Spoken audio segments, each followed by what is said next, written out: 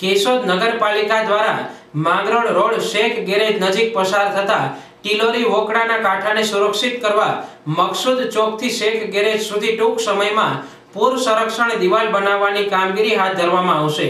જેથી સાંકડો બનતો જતો રોડ પહોળો થતા ટ્રાફિક સમસ્યા દૂર થશે.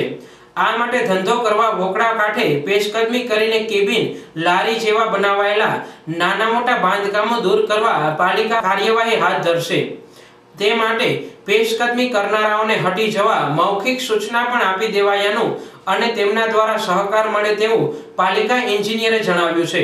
જો આ રોડ પર સુરક્ષા દિવાલ બને, તો આવનારા સમયમાં અંડરબ્રિજ માટે ચાર ચોકથી અગતરાય રોડથી બસ સ્ટેશન રોડ તરફ જવાના રોડને ખોદવાની કામગીરી શરૂ થતા અગતરાય રોડ પર પાંદેવ સમાજથી વાયા સ્મશાન થઈ માંગરોળ રોડ પર આવવા જવા ટ્રાફિક વધશે, જેને ધ્યાને રાખી શેખ ગેરેજ નજીક ટિલોરી નદી કાંઠે પૂર સંરક્ષણ દિવાલ બન્યા બાદ ત્યાં ભરતી કરવા આવતા રોડની પહોળાઈ વધશે, જેને લઈ ડાયવર્ટ કરવામાં આવતા ટ્રાફિકમાં આંશિક રાહત મળશે.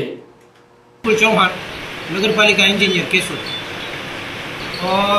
માંગરોળ રોડ શેખ ગેરેજથી મકસૂદ સુધી જિલ્લા આયોજનની ગ્રાન્ટમાંથી પૂર સંરક્ષણ દિવાલનું કામ મંજૂર થયેલું છે અને એનો વર્ક ઓર્ડર પણ ઇસ્યુ કરવામાં આવેલ છે. ટૂંક સમયમાં એ કામગીરી ચાલુ થવાની છે. એટલે રોડ ઉપર જે દુકાનો છે લારીઓવાળા એ બધાને મૌખિક સૂચના આપેલી છે. એ લોકોએ સાથ સહકાર આપેલો છે કે તમે કામ ચાલુ કરશો એટલે અમે અમારું દબાણ હટાવીએ છીએ. આપણે જે છે બંધ થવાનો છે ટ્રાફિક સમસ્યાને લીધે એ બાબતે રોડમાં વધારાની કઈ કામગીરી? વધારાની કામગીરીમાં તો પાંદેવ સમાજથી જે નાના વાહનો છે એ ત્યાંથી નીકળશે. એટલે દુકાનોને એવું હટી જશે અને પૂર સંરક્ષણ દિવાલ થઈ જશે એટલે રોડની વીથ વધી જશે જેથી ટ્રાફિકની સમસ્યા હલ થશે.